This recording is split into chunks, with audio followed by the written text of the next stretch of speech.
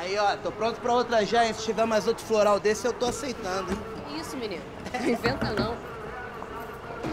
Meu Deus, olha o que fizeram com a mala! Ainda pedi pra botar adesivo de frágil! Será que estragou o vestido? Não me diz um negócio desse, por favor, Lara. Não, você tá maluco? Você é o noivo, não pode ver o vestido. Então abre aí pra Não, mim, tá, gente, tá, pelo amor tá, de Deus. que eu Relaxa, meu irmão, tá muito estressado, cara. Meu Deus, só faltava essa. Peraí. E aí, Lara? Alex, eu acho melhor você ver isso aqui. Ô, mas vai estragar o casamento.